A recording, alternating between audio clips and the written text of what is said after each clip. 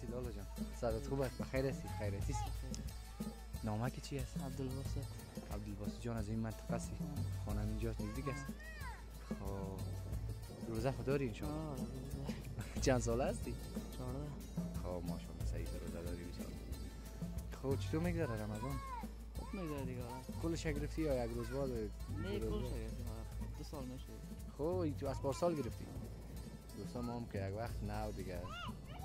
دیگه دوازده و سیزده شده بودیم یک روز می‌گرفتیم یک روز میخوردیم. دیگه کلش گرفته ماشاءالله مکتب خو میری صنف چند؟ سن بده ماشاءالله صنف ده. من یک سوال کنم اگه جواب دادی جایزه می‌تونم؟ سال سوال؟ آسان. اما هم ریاضی نکنی بعدم بهتر ریاضی یاد بذاره بالا. از ریاضی. مگه ریاضی بدمه هیچ یاد می‌گیره بره خب دیگه مضمونا رو یاد می‌گیری. آه من یادم رفته که کسی که چپ مغز باشه خوب ریاضی یاد می‌گیره یا راست مغز؟ فکر می‌کنم کسی چپ مغز باشه خوب ریاضی یاد می‌گیره. باز در مضمونهای ادبیات یا شاید در علوم اجتماعی تو خوب باشه. ما متاسفانه ریاضی رو یاد می‌گرفتن نمی‌دونم باز ادبیات یار خوب است خب خب از تاریخ پرسان کنم. خب از تاریخ خیلی بود که اولین پادشاه اولین رئیس جمهور افغانستان کی بود؟ چی نام داشت؟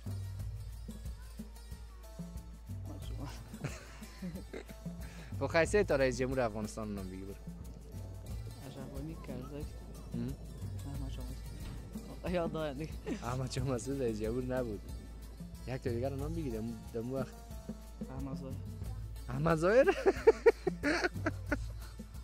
نه دیگه احمد ظاهر خواهد خان بود. دکتر عبدالله. دکتر عبدالله نشد بیچاره هر چی کرد نتونست. این پیش از این پیش از این تحولات. کرزای اشرفانی پیش از کرزه یکی رو نام بگی پیش از کرزای مشرفی نه او خودم وقت بود مولانا کرزه بود ما چون دیگه من بفهم ما وقت نبودیم. وقت ما نبودیم دیگه. خب زیاد کمکت کردم که جایزه رو بگیری. یک تا دیگر رو نام بگی. یک یک پاچا رو خیلی نام بگی برو. و قره خب می‌فهمی. پاچه سابقه یا آه. سابقه سابقه نام بگی احمد زاهد احمد ظاهر نه او بدارم احمد ظاهر آواز خان بود. نشد. نه متاسفانه دیگه خیلی مرا دستک خدا حافظ چای نمی‌خوری تشکر.